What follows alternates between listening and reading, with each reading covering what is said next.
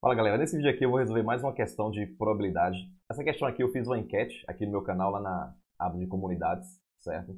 E ela teve seis votos. O que, eu vou fazer aqui? Eu vou fazer uma análise é, das respostas que as pessoas que votaram, nessas seis pessoas votaram, é, fazer uma análise aqui do que, que ela, do porquê que elas votaram isso. Tentar entender qual que foi o erro delas, para que você não cometa é, o mesmo erro, né? o erro semelhante ao que elas cometeram e tentar entender né, algumas questões, alguns fundamentos para você poder melhorar a sua análise em questões que envolvem matemática, tá bom? E essa questão diz assim, ó, é, numa roleta há números de 0 a 36. Supondo que a roleta não seja viciada, então a probabilidade de um número sorteado ser maior do que 25 é, e tem aí as alternativas. Você observa que nas respostas aqui da, da enquete que eu fiz, colocaram 11 sobre 36, a primeira resposta aqui, 33%, né? E depois responderam 25 sobre 36. O que a gente observa aqui, ó?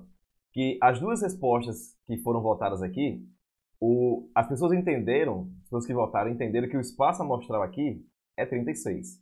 Olha aqui, ó. Entenderam que o espaço amostral é 36.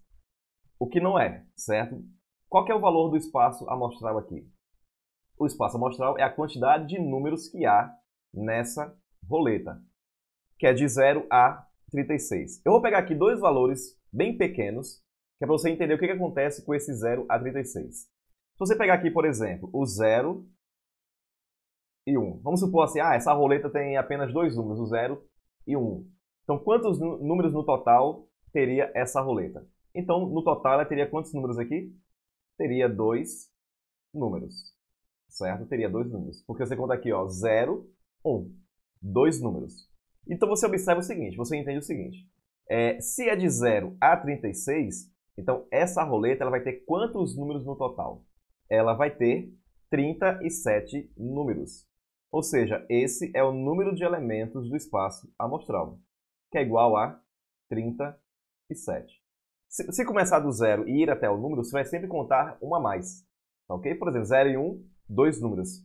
De 0 a 3, você vai ter quantos números? Quatro números. 0, 1, 2, 3. Quatro números.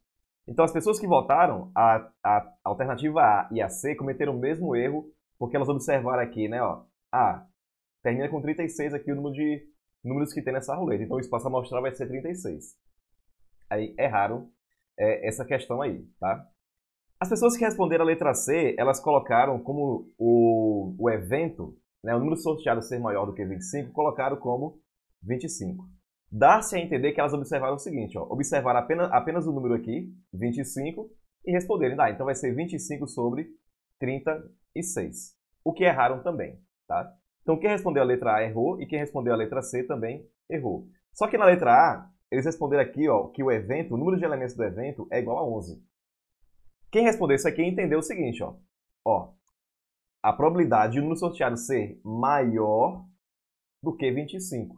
Então, o 25 não entra na contagem. Então, você vai contar ó, 25, 26, 27, 28, 29, 30, 31, 32, 33, 34, 35, já tem 10 números aqui, 36, 11 números. O que eu vou chamar de A esse evento é o número de elementos do evento A, que é o número ser sorteado, ser maior do que 25, é igual a 11. Esse é o número de elementos do evento. Então, quem respondeu a letra A acertou o número de, do, de elementos do evento, mas errou o número de elementos do espaço amostral. Ok? Então, qual é a probabilidade de A ocorrer? De o um número sorteado ser maior do que 25? Será de 11 sobre 37. Ou seja, a alternativa B, que é a resposta correta. Tá bom? Então, de, Logo mais, depois vou colocar outro, outra enquete lá, tá bom? Se você quiser responder lá, fica à vontade. Mesmo que depois que você ver esse vídeo, veja esse vídeo depois, né? Depois que eu tenha respondido lá a, a enquete, tá bom?